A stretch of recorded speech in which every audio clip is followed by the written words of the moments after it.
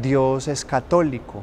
Sí, Dios sí es católico. Porque la palabra católico en griego traduce universal. Y Dios es para todos. Y Dios está con todos. Por eso cuando nosotros decimos que la iglesia es católica, no pensemos que los católicos son un grupo de personas dirigidas por el Papa y ya, sino los católicos estamos llamados a ser universales. Y tenemos que decirlo, hay muchos católicos no católicos. No sé si me haga entender, o muchos que se hacen llamar católicos pero no son universales. Dios es católico, nunca lo dudes y yo también tengo que ser católico. Tengo que ser católico porque es que hoy nosotros cada vez ponemos más barreras, cada vez ponemos más divisiones, cada vez ponemos más bloqueos, cada vez más chapas, más cámaras, más rejas, cuando yo estoy llamado es a ser universal.